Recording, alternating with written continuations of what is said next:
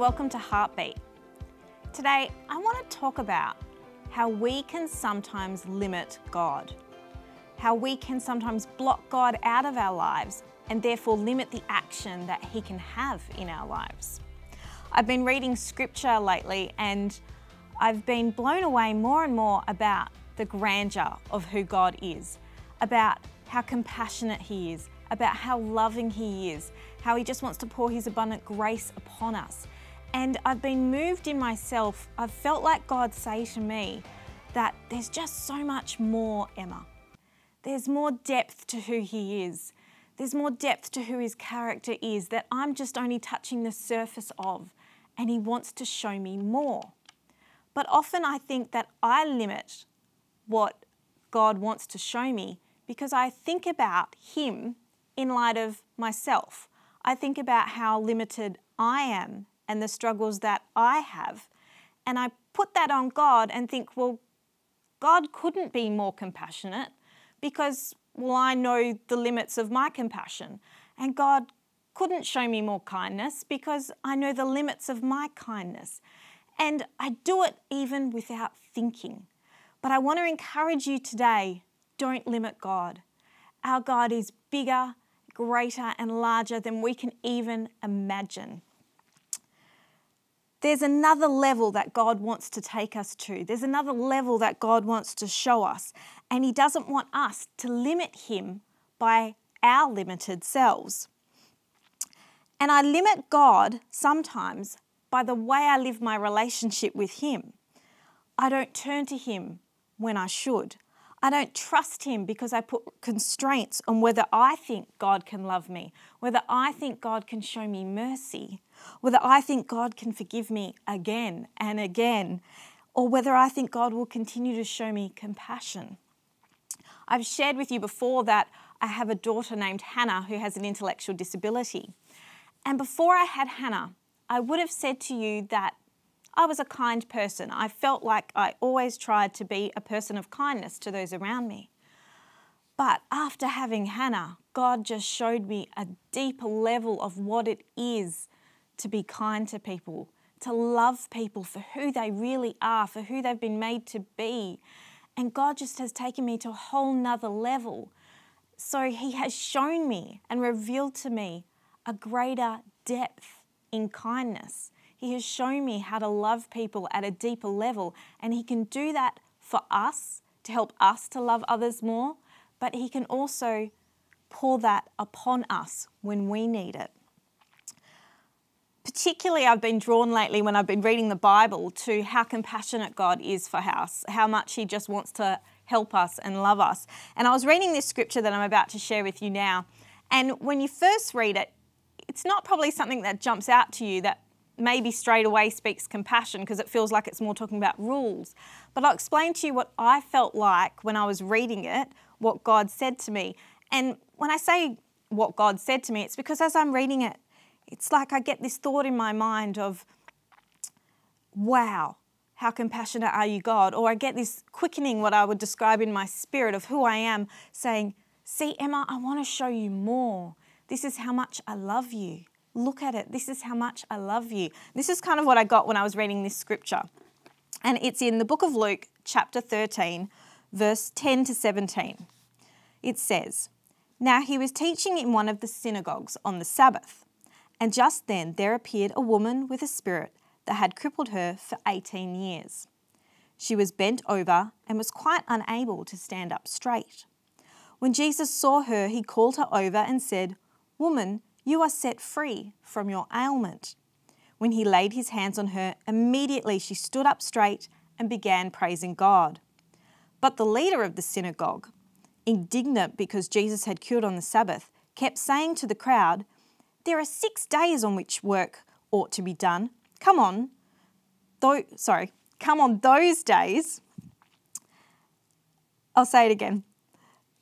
Verse 14, it says, But the leader of the synagogue, indignant because Jesus had cured on the Sabbath, kept saying to the crowd, There are six days on which work ought to be done. Come on those days and be cured, and not on the Sabbath day. But the Lord answered him and said, You hypocrites!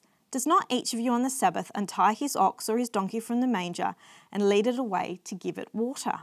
And ought not this woman, a daughter of Abraham, whom Satan bound for 18 long years, be set free from this bondage on the Sabbath day?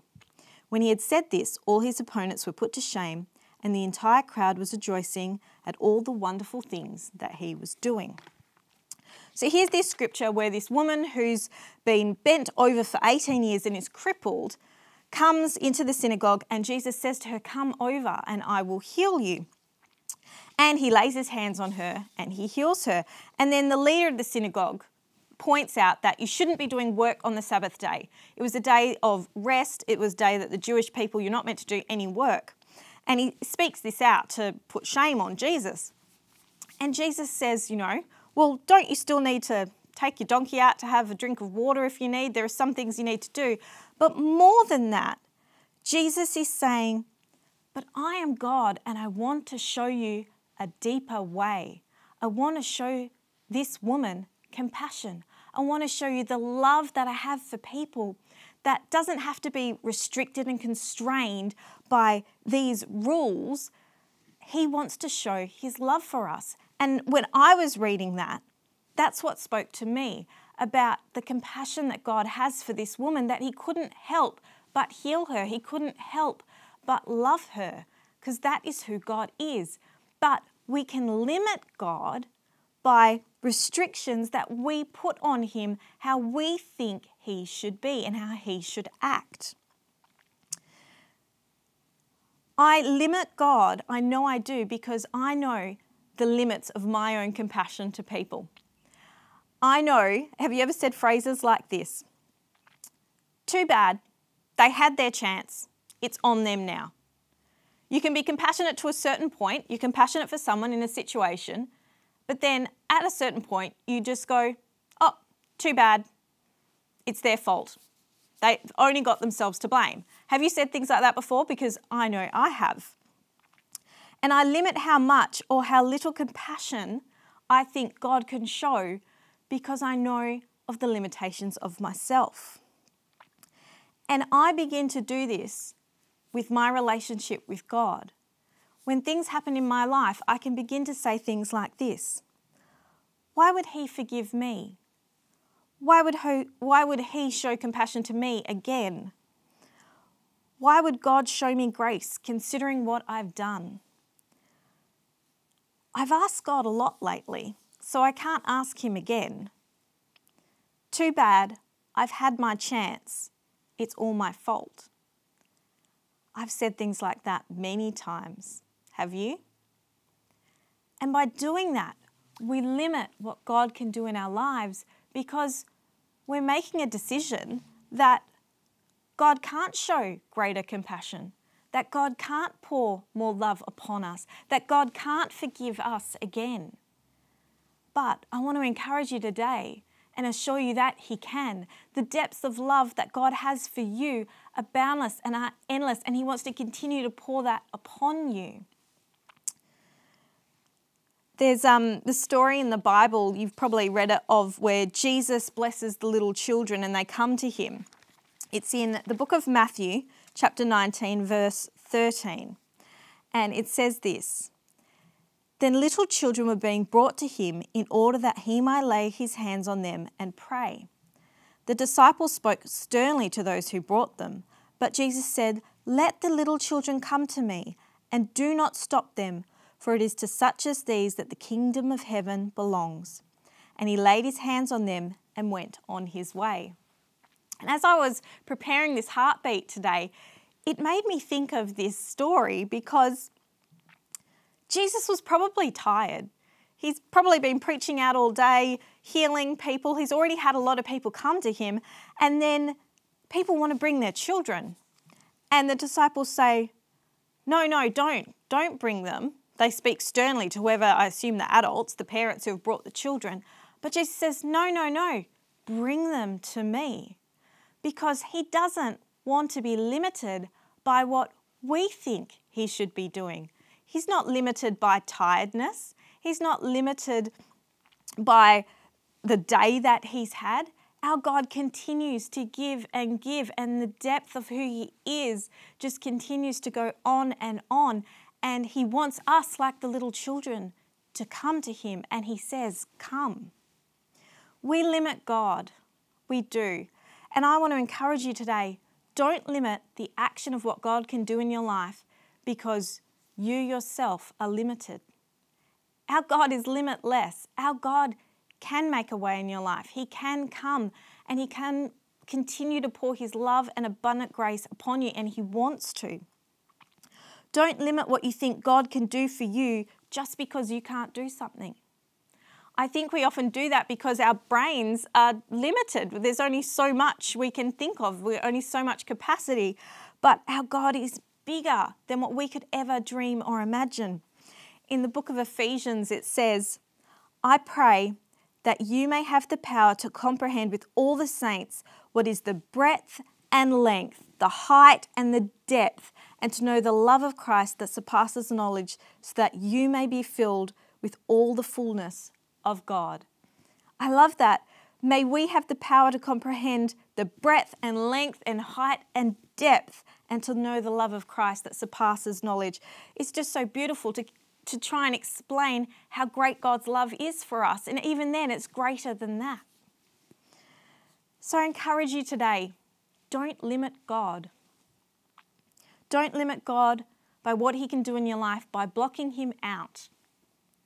Continue to go to Him, continue to turn to Him, continue to trust in Him, and allow Him to show you the depths of who He is. Allow Him to show you the depths of His love for you, the depths of His mercy, how much grace He just wants to pour upon you. Allow Him to show you in your life and don't limit what He can do in you. Let's pray. In the name of the Father, and of the Son, and the Holy Spirit. Amen. Lord, I thank you that you are a limitless God. Your love for us is never ending, it's boundless. And Lord, I thank you that you continue to want to pour your grace upon us. Lord, for those times that we do limit you, where we think, oh, I can't go to God again, I can't ask Him again, oh, He wouldn't do that for me. When we have those thoughts, Lord Jesus, I pray that you would speak to us, that you would cause us to turn to you, that you would at those moments, pour your love upon us again, Lord Jesus, so that we would know the depths of who you are and the depth of the love that you have for us. I thank you, Lord Jesus, for always being with us and for walking with us. And I ask all of this in your mighty name. Amen. In the name of the Father, and of the Son, and the Holy Spirit. Amen.